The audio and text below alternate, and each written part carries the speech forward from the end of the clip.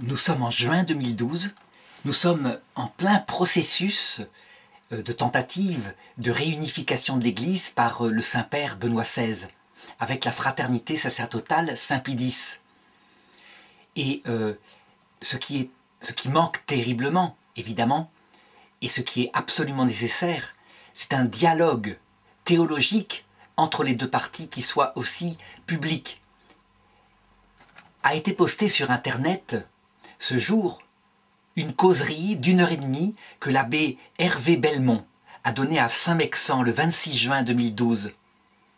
Et cette causerie est très intéressante. Je voudrais d'abord la présenter et puis ensuite euh, donner quelques points de vue d'un théologien conciliaire afin que la position de l'Église euh, en, toute, euh, vérité soit véritablement donnée et non pas ce qu'on traîne depuis 50 ans et qui viennent souvent euh, de magistère personnel, ici ou là.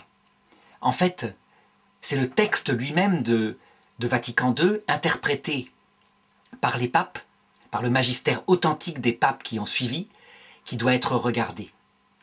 Alors d'abord, je voudrais euh, faire un, bref résumé des propos de l'abbé Belmont, qui sont d'une grande qualité théologique, hein, d'une grande profondeur d'analyse, et qui, euh, je pense, je n'ai pas fait de contresens. Donc il dit ceci, Vatican II contient forcément des erreurs, puisque Vatican II définit des choses qui avaient été condamnées auparavant. Et il fait référence certainement aux condamnations des papes du XIXe siècle. L'abbé Belmont n'insiste pas sur les points théologiques dans cette partie-là, mais il vise probablement la liberté religieuse, la question de la royauté du Christ, la question de la finalité des sacrements, etc. Toutes choses que j'aborderai tout à l'heure, puisque dans d'autres parties de sa causerie, il les aborde. Alors ensuite, l'abbé Belmont manifeste le trouble qui le prend et qui prend beaucoup de prêtres de la fraternité sacerdotale Saint-Pédis, à savoir que l'Église, au nom de principes qui sont vrais, à savoir l'infaillibilité pontificale en matière dogmatique, à savoir la nécessité d'obéissance au plan juridictionnel, au plan pastoral, au pape, eh bien l'Église, elle demande aux membres de la fraternité sacerdotale Saint-Pédis d'adhérer à des choses qui, en conscience, pour eux, contredisent la foi catholique. Pour l'abbé Belmont, c'est une crise qui est tout à fait comparable à celle de l'arianisme et du semi-arianisme au début de l'Église. Et où on a vu à un moment donné que le sang des martyrs avait complètement réglé cette crise-là. Cependant, ce qui trouble profondément l'abbé Belmont, c'est que, au moment de la crise arianiste et semi-arianiste, les papes n'étaient pas dans le camp des hérétiques, alors que là, il lui semble que les papes sont dans le camp des hérétiques. Du coup, pour lui, c'est une crise particulièrement inédite, unique, qui véritablement pose un trouble à la foi par rapport à ce qui constitue euh, le corpus de la foi auquel il adhère. Et pour euh, prouver ce trouble, il cite à un moment donné, vers la fin de la conférence, une phrase de Paul VI qui est souvent citée dans les milieux de la fraternité sacerdotale Saint-Pédis, à savoir Nous avons, nous aussi, le culte de l'homme. Et comme si cette phrase-là, qui évidemment, lorsqu'on lit le texte complet, ne est tirée du contexte, hein, comme si cette phrase-là était euh, marquée de franc-maçonnerie. La franc-maçonnerie étant, je dirais, le groupe philosophique qui, selon lui, a influencé l'Église en le détournant, en la détournant de Dieu, du culte de Dieu seul, Dieu premier servi, pour faire tourner l'Église au culte de l'homme. Et l'abbé Belmont en a la preuve, dit-il, par le fait qu'il suffit d'aller visiter des églises actuelles. On y entend plus du tout la même doctrine. Où est-elle? Où est-il l'enseignement sur la Vierge Marie, sur les saints, sur la communion des saints, sur la vie éternelle? On entend des choses qui concernent l'homme, euh, on voit même des catéchismes qui sont sortis dans les époques qui ont suivi le concile, où quasiment le Christ était simplement homme, c'était le copain, etc. Et donc forcément, face à ce trouble, Et l'abbé Belmont n'est pas le seul. C'est le vrai trouble qui travaille en ce moment la fraternité Saint-Pédis. C'est une tentation de céder vacantisme. C'est une tentation à laquelle, très clairement, à la fin, euh, sans utiliser le mot, il fait référence, à savoir, si on lui demande Est-ce que vous pensez que le pape est le vrai pape? Est-ce que vous pensez que les évêques sont vraiment évêques? Est-ce que vous pensez que les prêtres sont prêtres, que l'Eucharistie est valide? Eh bien, l'abbé Belmont répond J'ai des doutes. Et il a des doutes pour des raisons profondes, à savoir comment un pape, vrai pape, pourrait-il soutenir des choses qui ne sont pas la vérité catholique? Est-ce que l'ordination des évêques, qui a été bouleversée par Vatican II, est encore valide? Est-ce que la messe, le rituel de la messe, qui selon lui a été bouleversé, est-ce qu'il est encore valide? Alors il ne se prononce pas. Mais il dit ses doutes profondément. Et donc, face à, cela, je voudrais relever une chose qu'il dit au tout début de sa causerie et qui me paraît essentielle. Il dit ceci.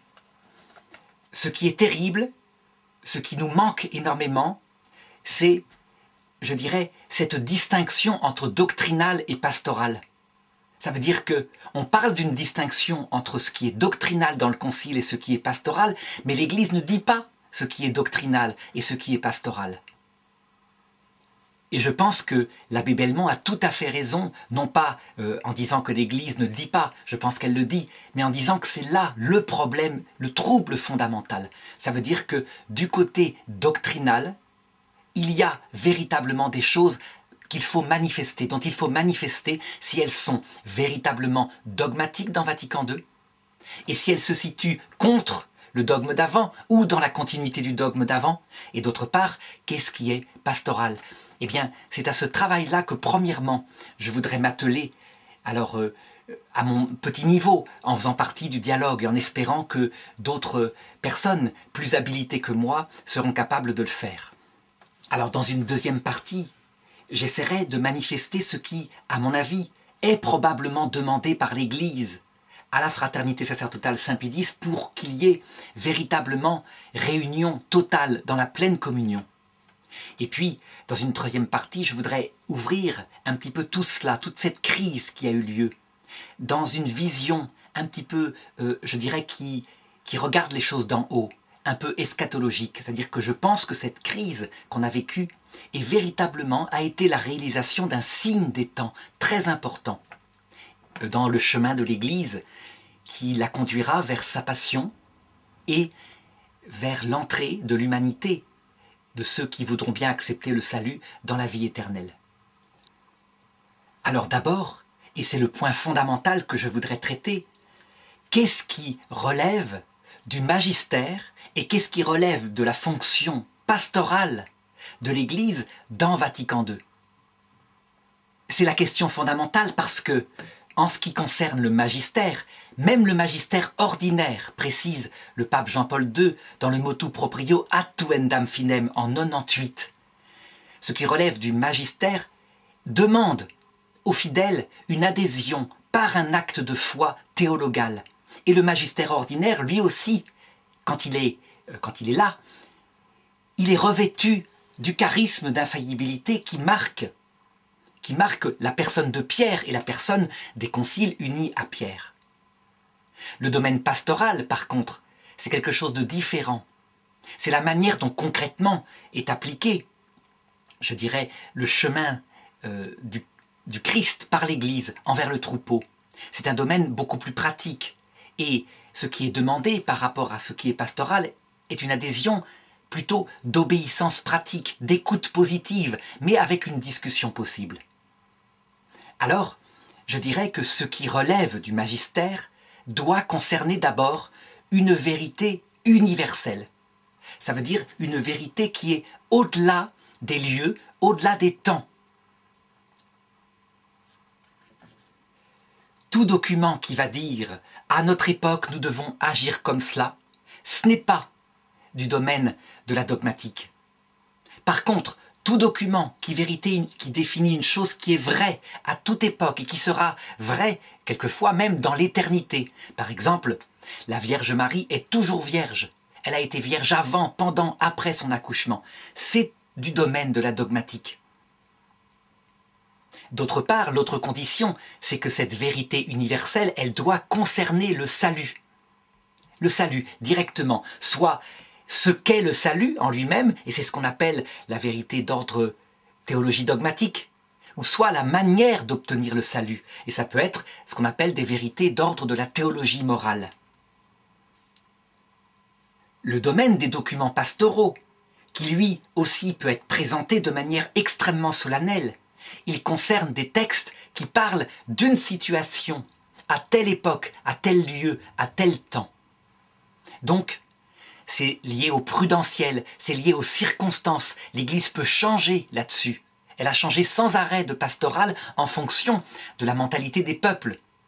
On ne peut pas avoir la même pastorale pour un peuple au temps de Clovis, qui obéit à son roi, qui se convertit quand le roi se convertit, et un peuple comme maintenant, où chaque individu pense par lui-même. Eh bien, je dirais que dans Vatican II, où il y a toute une série de choses qui sont définies, il faut regarder ceci et que avec cette simple distinction, on arrive à se faire une idée assez précise de ce qui est dogmatique et de ce qui est pastoral.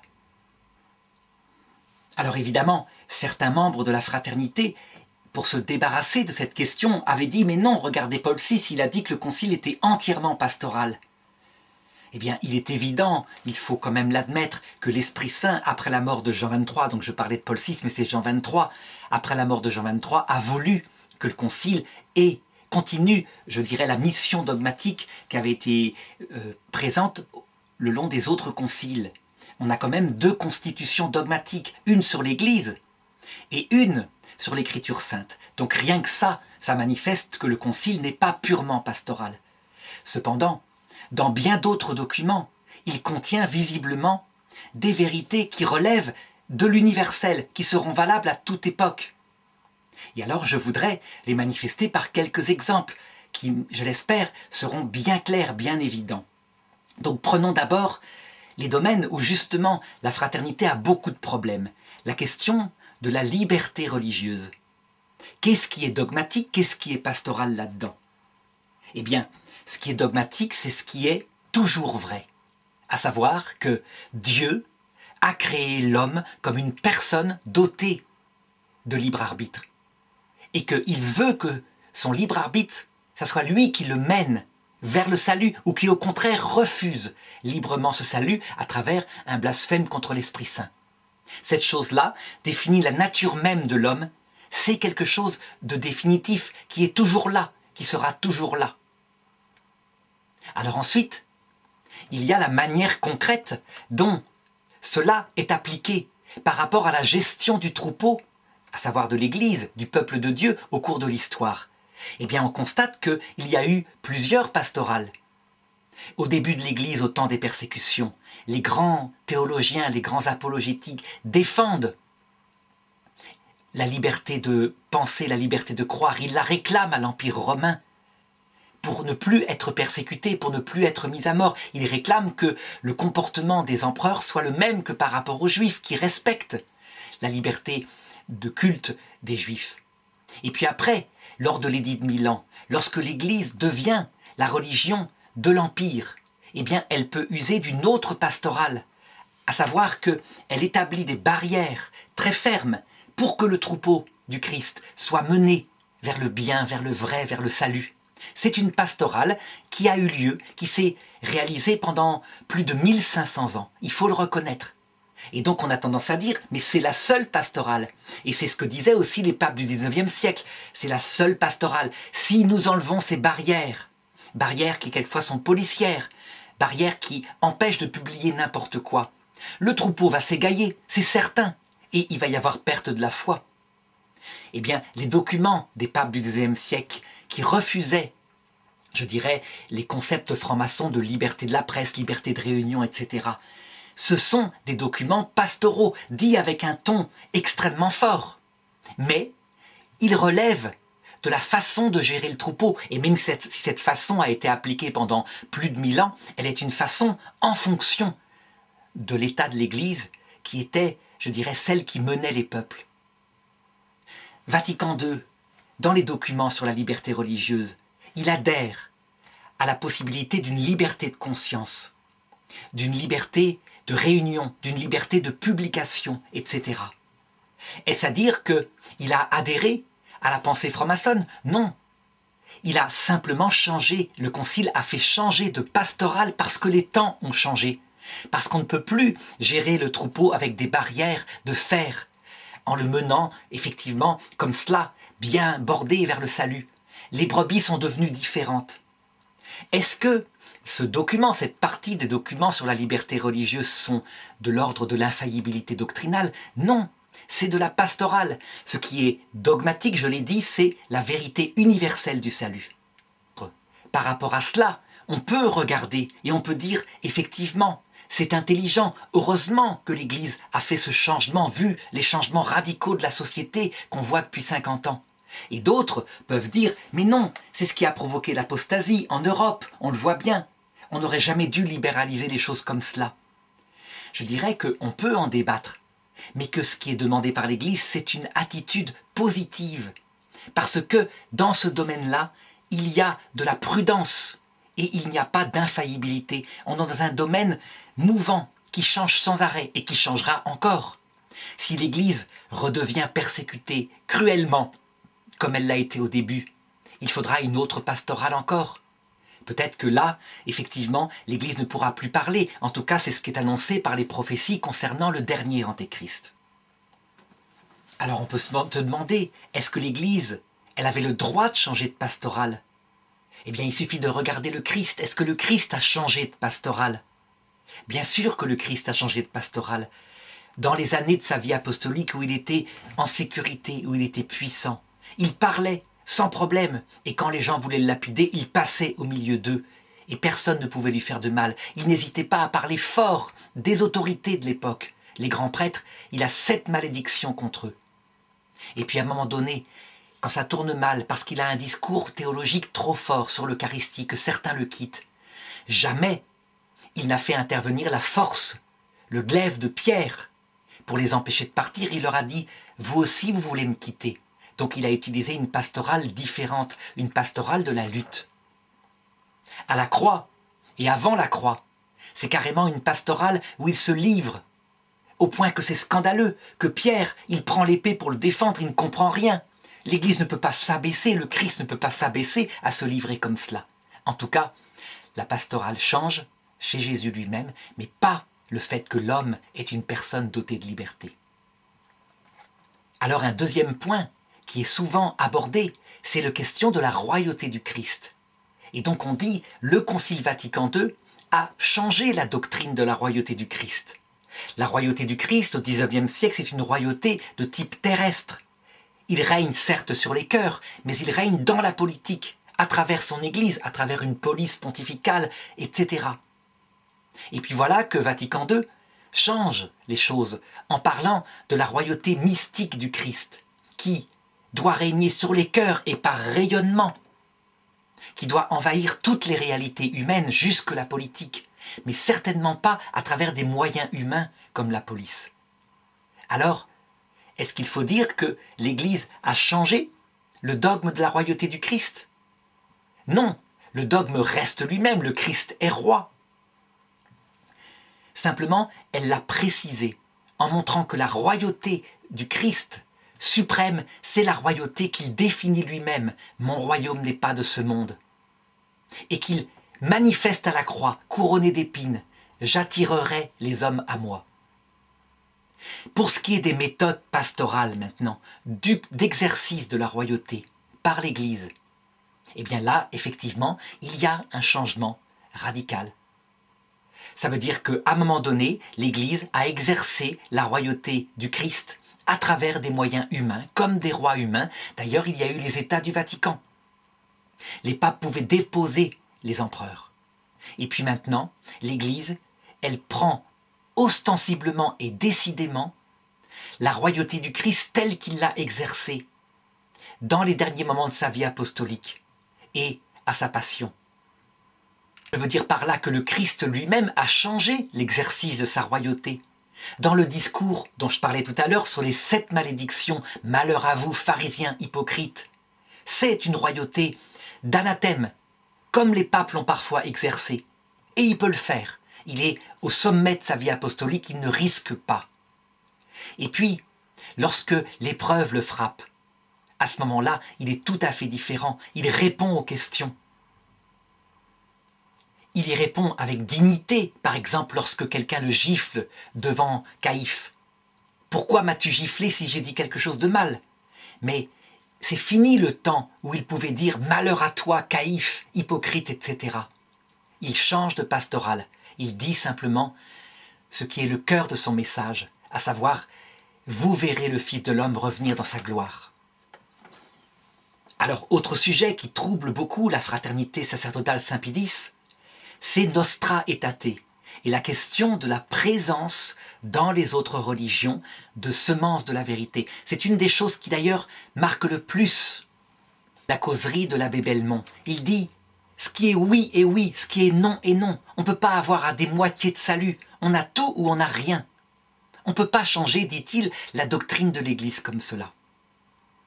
Eh bien, je répondrai que, à cet égard, pareil, il faut distinguer l'aspect dogmatique et l'aspect pastoral.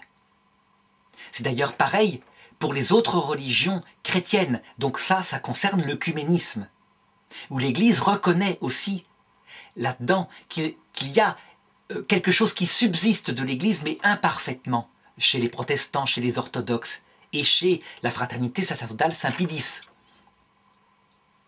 ce qui est dogmatique et ce qui ne change pas, c'est ce qu'avaient défini les conciles d'avant, à savoir que les autres religions ne donnent pas le salut. Elles ne donnent pas le salut. Seul le Christ donne le salut, puisque le salut, c'est euh, une vie de charité, vertu théologale, une relation entre Dieu et l'âme qui n'est donnée que par le Christ seul et par sa grâce, le Christ qui est Dieu fait homme. Par contre, qu'il y ait des semences de l'Esprit Saint mises dans les autres religions et qui préparent à la venue du Christ.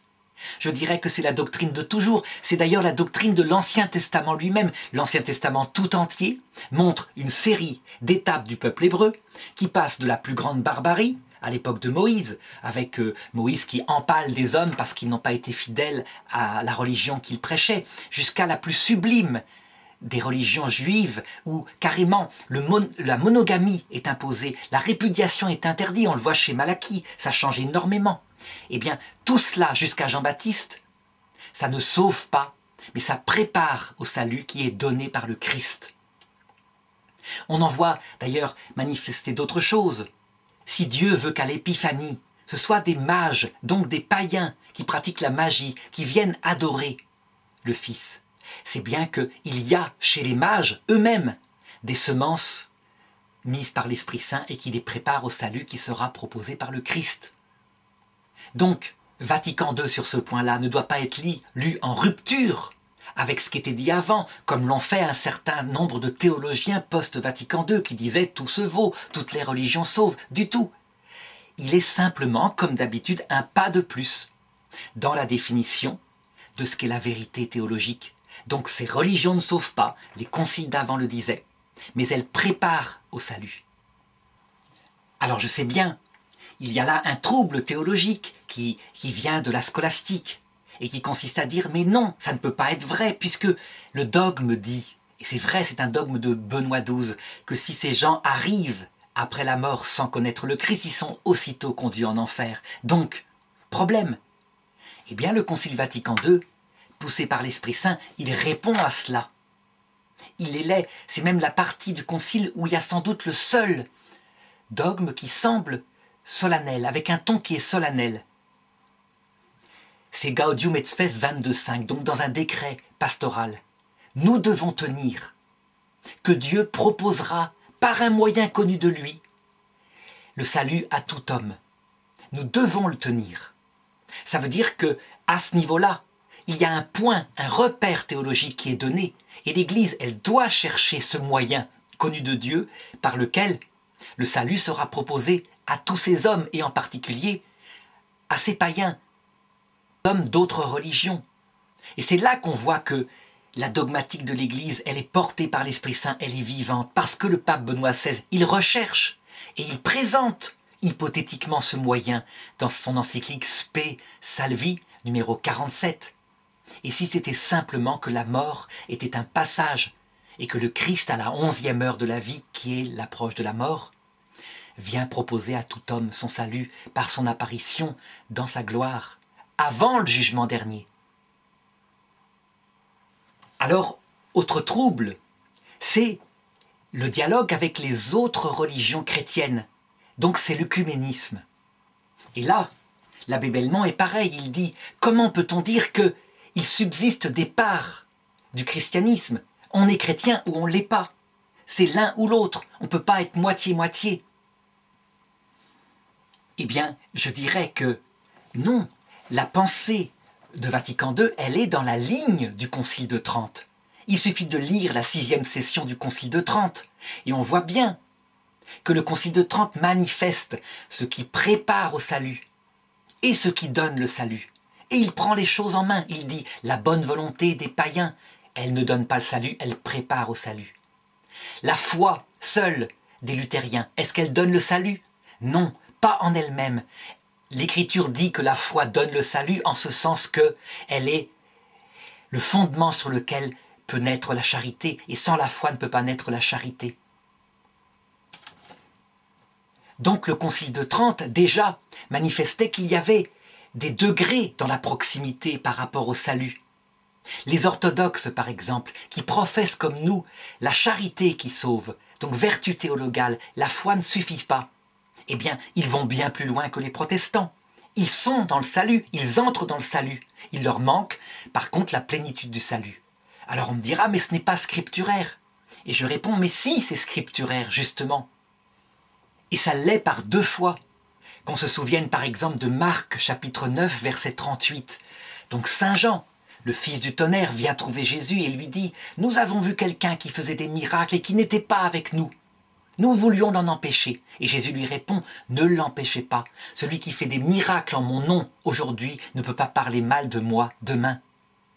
On le voit aussi dans Saint Paul, qui dit à un moment donné, Il y en a qui prêchent l'Évangile pour me nuire par esprit de chicane. Eh bien, tant pis, je continuerai de m'en réjouir, parce que, que ce soit par esprit de service de l'Évangile ou par cet esprit de chicane, l'Évangile est annoncé.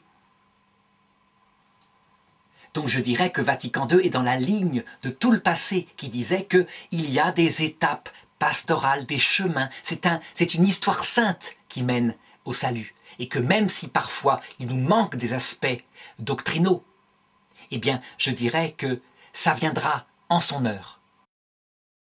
Alors, autre aspect qui trouble l'abbé Belmont, c'est le fait que Vatican II ne centre plus la messe sur le Christ seul. Il dit, mais la messe de toujours, c'est le Christ. On adore le Christ, on sert le Christ, etc.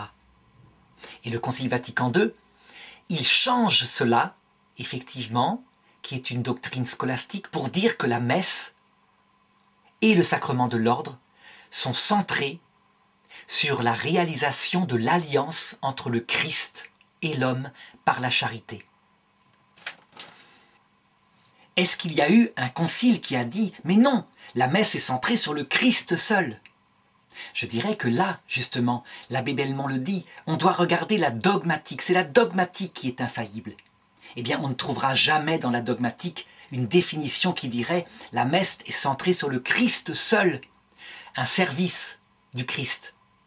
Toujours le terme d'alliance a été donné par l'Église, mais là, cette fois, il est donné dogmatiquement et on en tire les conséquences, à savoir que, en conséquence, on rétablit quelque chose au niveau liturgique qui avait été fait par Jésus et qui avait été enlevé par la suite, à savoir, on ne tourne pas seulement tout vers le Christ, mais on tourne tout vers un repas d'amour entre le Christ le peuple de Dieu, entre le Christ et les âmes.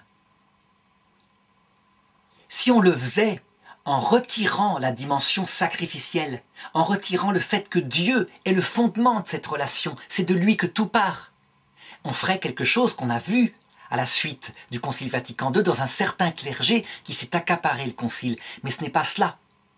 On garde cette dimension du fait que tout vient de Dieu donc la dimension sacrificielle est essentielle. Et on ajoute, on réinstille la dimension que Jésus lui-même a créée à la Sainte Seine, à Cana. autour d'un repas pour signifier qu'il s'agit de quelque chose lié à l'amour. Alors évidemment, il y a eu dans l'application de cela des abus que le pape Benoît XVI a lui-même dénoncés. Il est arrivé que des messes depuis 50 ans exaltent l'homme contre Dieu. Ça n'est pas la pensée du Concile Vatican II. Le pape Benoît XVI ne cesse de le dire. Ce sont des interprétations de magistères autoproclamés qui ont eu du pouvoir de fait dans certaines églises d'Occident. Alors les conséquences de ce petit point qui fait que toute la théologie morale est centrée sur l'alliance de charité théologale entre Dieu et l'homme, c'est que le sacrement de l'ordre lui-même, sa théologie, est modifiée par rapport à celle de Saint Thomas, pas par rapport à celle de l'Église. Et tout le problème, c'est qu'on a souvent cru que la synthèse thomiste, scolastique, était définitivement le dogme, alors que pas du tout. Et donc saint Thomas, pour lui, il n'y a que deux ordres, trois ordres majeurs, le sous-diacre, le diacre, le prêtre, parce que c'est lié à l'Eucharistie seule, et que l'évêque n'apporte rien pour l'Eucharistie. Le Concile Vatican II montre qu'il y a trois ordres majeurs, le diacre, le prêtre et l'évêque, parce que, en fonction de la finalité du sacrement de l'ordre, qui est l'alliance entre Dieu et l'homme, le perfectionnement de l'homme, eh bien, l'évêque apporte quelque chose de radicalement nouveau du côté du perfectionnement de l'homme.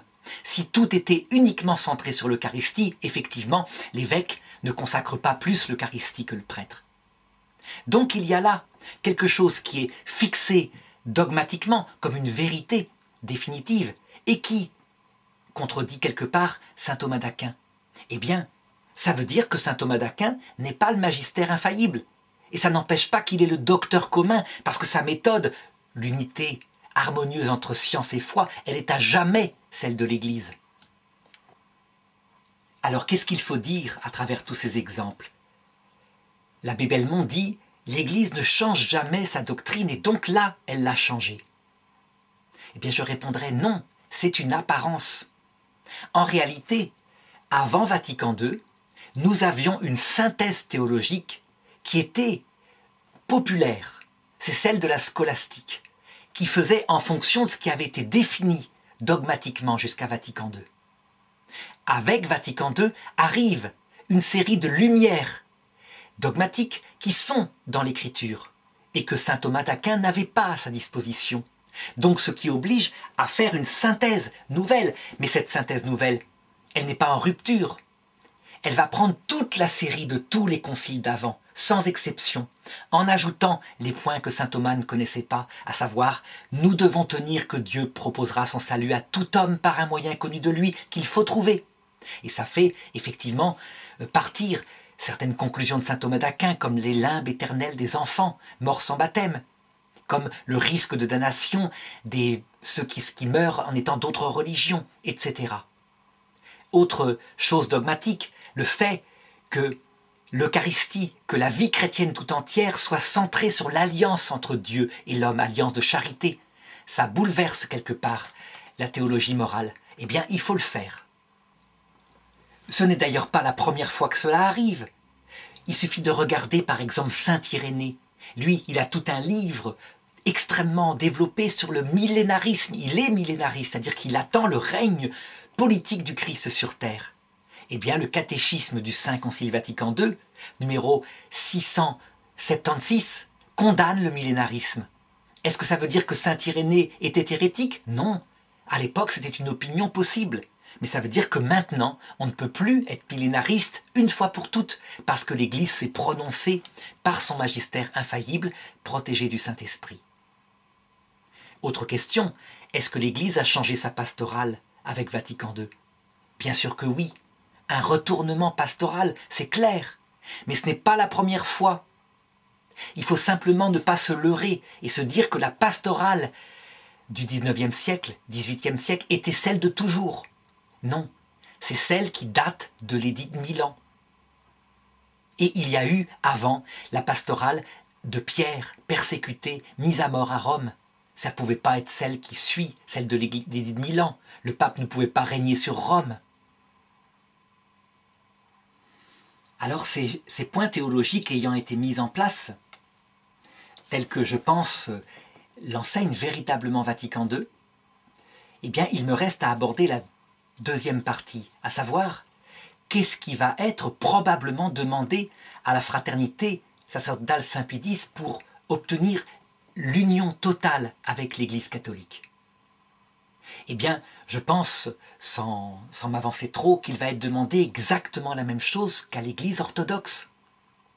Parce qu'il n'y a pas de raison, c'est la même chose. À savoir que une chose est absolument nécessaire. C'est une adhésion de foi théologale en toute confiance à ce qui est dogmatique dans l'Église avant Vatican II, après Vatican II et dans Vatican II. Donc il faudra encore fixer ces points en question. Mais je pense que le travail est assez facile à faire. Il s'agit des vérités universelles portant sur la doctrine du salut. Il faut y adhérer et je pense avoir montré quelques-uns des points juste avant. Là-dessus, l'Église évidemment ne pourra pas faire autrement parce que il y a un charisme d'infaillibilité, le pape en est le gardien. S'il s'exerce, c'est indépendamment de toutes les discussions de Vatican II, c'est l'Esprit Saint. Au plan pastoral maintenant, est-ce qu'il sera demandé à la fraternité Saint-Pédis d'adhérer à la nouvelle pastorale de l'Église? Je dirais que par rapport à cela, le comportement qui est demandé par l'Église est tout à fait différent. C'est simplement une écoute positive, c'est-à-dire pas quelque chose qui tout de suite critique, mais une écoute positive, non pas des abus du clergé euh, progressiste après Vatican II, mais des textes de Vatican II interprétés par le magistère authentique des papes. À savoir, est-ce qu'on peut discuter avec des gens d'autres religions? Est-ce qu'on peut discuter même avec des francs-maçons qui ont été solennellement condamnés et dont la doctrine reste condamnée actuellement? Est-ce que le fait de se tourner vers les autres est une chose qu'on peut faire? Je dirais que là, il y a une certaine liberté. Si la fraternité sacerdotale Saint-Pédis ne veut pas discuter, débattre avec d'autres religions. Ben, ça ne sera pas son charisme. Mais ce qui lui sera demandé, c'est de comprendre l'attitude des papes. Alors, on pourrait dire d'ailleurs que c'est quelque chose d'assez possible de comprendre, parce qu'on voit Jésus lui-même changer de pastoral.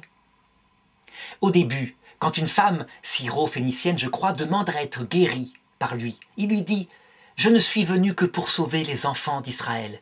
Et elle lui répond, mais les petits chiens mangent la nourriture qui est mise par terre. Et Jésus la guérit. Mais au départ, il a une pastorale très dure.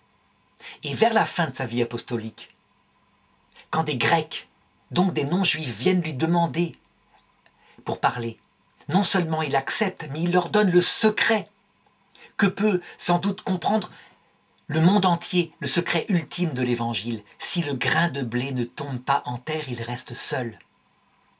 Donc, si on regardait les choses comme cela, avec un regard en disant mais il se comportait différemment il y a deux ans, maintenant il fait autrement, il se contredit, ben on quitterait Jésus. Les circonstances ne sont pas les mêmes. Saint Pierre a été troublé, il a failli quitter Jésus, on peut dire cela. En tout cas, il a résisté à cette nouvelle pastorale. Il n'empêche que Jésus a maintenu sa pastorale. Donc là-dessus, je dirais au moins une écoute positive. Et puis, une certaine liberté pastorale. La pastorale, elle n'est pas infaillible. C'est une manière de gérer le troupeau, et si des personnes préfèrent être gérées d'une manière virile, très précise, très carrée, pourquoi pas? Ensuite, il y a l'aspect liturgique, c'est le troisième domaine. Est-ce qu'il sera demandé à la fraternité Saint-Pédis d'adhérer, de pratiquer la liturgie de Paul VI Réponse non. C'est la même chose probablement que ce qui s'est passé avec les uniates. On n'a pas demandé aux uniates de pratiquer la messe latine.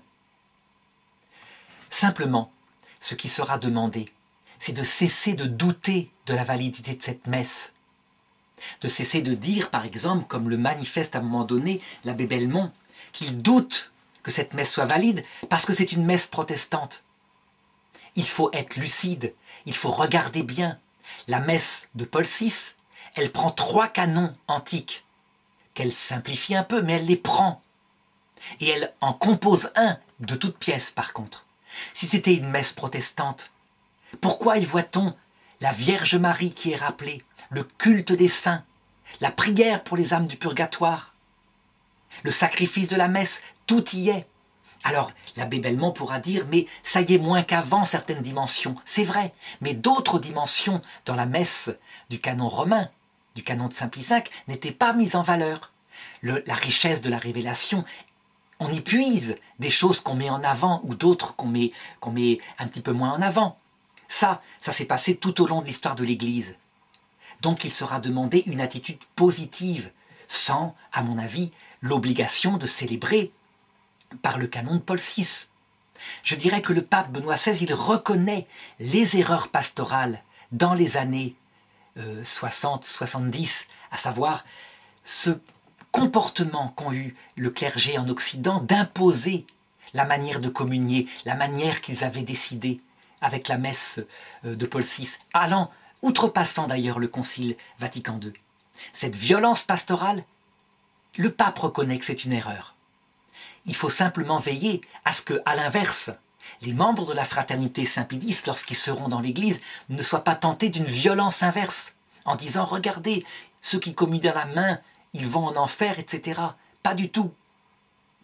Il y a un respect des rituels, et ce qui sera la grâce de la fraternité, ce sera de réinstiller dans les sacrements la notion de respect, qui est je dirais, indispensable pour que l'amour familier qu'avait voulu réinstiller le Concile Vatican II puisse s'exercer.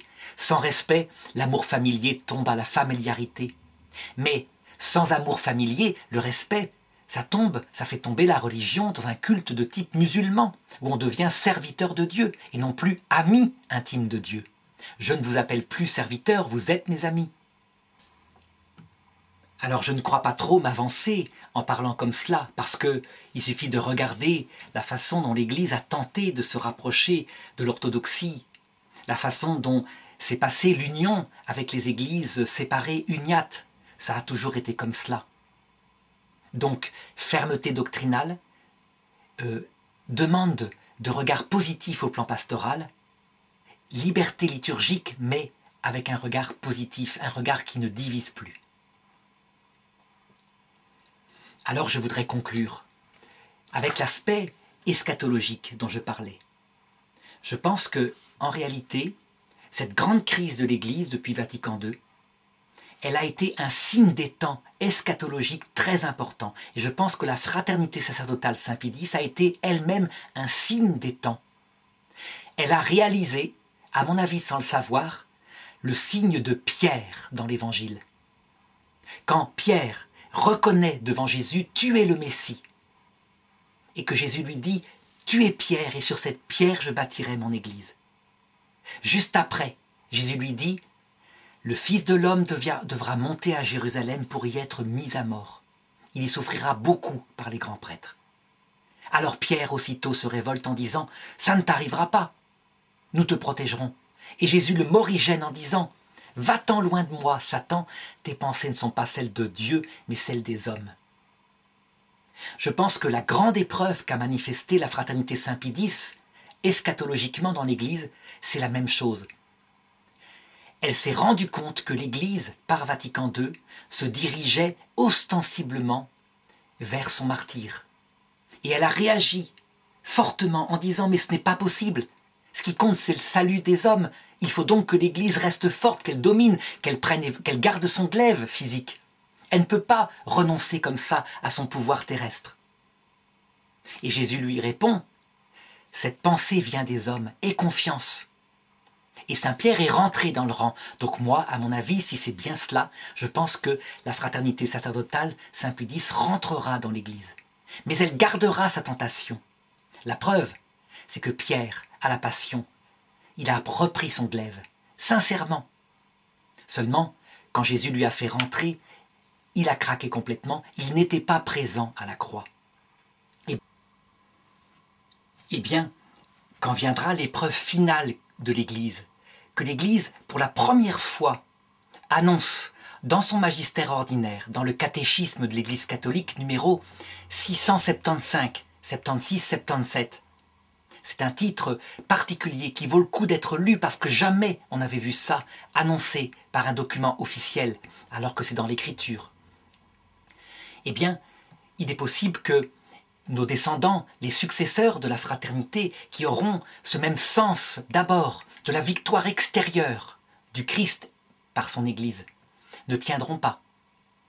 Or, ce qui est important, je crois, ce qu'il faut essayer de faire, même si la plupart s'en iront parce que le berger étant atteint par l'épreuve finale, le troupeau sera dispersé, annonce le Christ.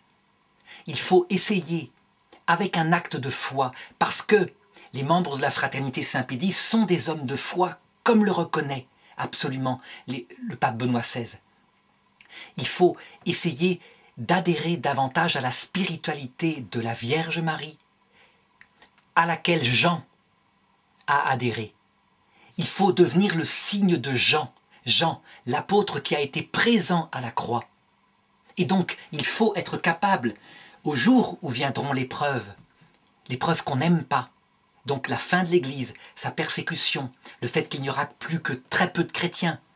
Et les textes de Jésus, très mystérieux, vont jusqu'à dire la fin du sacrifice perpétuel, peut-être la messe. Eh bien, il faut être capable de croire, comme la Vierge Marie, que alors que politiquement, du côté de la royauté extérieure, tout est perdu, en fait, tout est gagné qu'il y a juste un samedi saint à passer et que le Christ revient dans sa gloire, que la victoire, elle va surgir, évidemment, à sa façon à lui, comme le dit le catéchisme de l'Église catholique, il fera descendre du ciel son épouse. Ça veut dire que c'est par cette épreuve-là qu'il lui façonnera un cœur brisé, comme Marie à la croix, que l'entrée dans la vision béatifique sera possible, non seulement d'ailleurs pour l'Église catholique, les derniers chrétiens à cette époque-là, qui, seront restés fidèles, mais aussi pour ceux qui seront en fait disposés par cela, par cette épreuve. On le voit, c'est un retournement, je dirais, intellectuel total. Ça veut dire que jusque-là, on croyait pastoralement que l'Église amenait, le, amenait forcément les fidèles à la vie éternelle par le chemin droit d'une pastorale rigoureuse qui tenait les hommes fidèlement dans le chemin. Et on s'aperçoit que le Christ, il est bien plus grand que cela. Il peut amener au salut des gens en les laissant vivre des épreuves loin de lui, des épreuves qui disposent leur cœur au jour où il revient dans sa gloire. C'est ce que dit Saint Paul, il le promet. Quant à l'Antéchrist, la venue du Christ le balayera. Ça veut dire, c'est dans la deuxième épître aux Thessaloniciens, chapitre 2, ça veut dire que, évidemment, si Dieu permet ces épreuves-là, c'est qu'il va en faire sortir plus de salut. Et Jésus d'ailleurs annonce comment. Il le dit dans l'Évangile. Celui qui a été beaucoup pardonné aime beaucoup. Celui à qui on a peu remis aime peu. Ce qui veut dire que le Christ, aussi surprenant soit-il, prépare pour l'humanité un chemin de salut à travers l'épreuve, à travers le règne de l'Antéchrist, mais qui sera extrêmement efficace, sinon il ne l'aurait pas permis. Donc, indépendamment de la compréhension qu'on a par rapport à la scolastique, il faut véritablement adhérer par la foi à ce que l'Esprit Saint a mis dans Vatican II au plan dogmatique. Regardez avec un regard positif la pastorale, en réinstillant vraiment des choses qui doivent être mises au point du pastoral pour éviter, pour que disparaissent les abus faits par le clergé, euh, je dirais progressiste, qui a eu le pouvoir, mais qui était euh, tout aussi, je dirais, séparé. Et à ce moment-là, il y aura une préparation eschatologique positive aux épreuves à venir de l'Église et à la venue du Christ dans sa gloire.